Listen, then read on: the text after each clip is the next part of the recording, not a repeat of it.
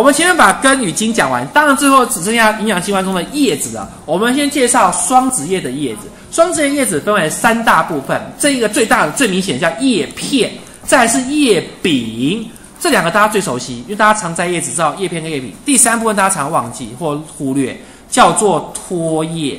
它的旁叶子叶柄的基部两侧两个小小的构造，它的功能是保护这个叶子或保护上面的芽。那这个叶子长出来之后，通常叶子旁边还会有个小小的侧芽，是以防万一的。如果这叶子死掉了，这个侧芽可以再长出一个新的叶子，哦，像备胎一样。好啦，所以这是叶片，然后叶柄，然后托叶。叶柄旁边可能还有侧芽。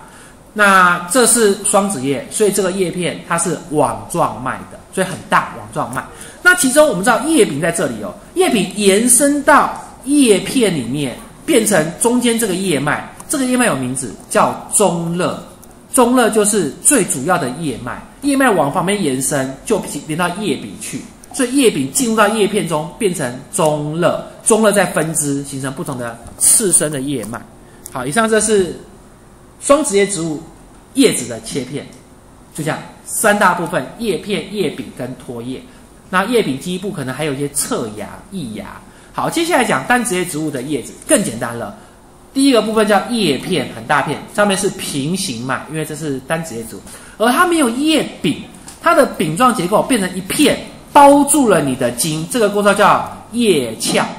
叶鞘相当于双子叶植物的叶柄，但叶鞘呢会包住茎。只要你看到有人被包住，那个包住别人的构造，通常就会叫什么鞘？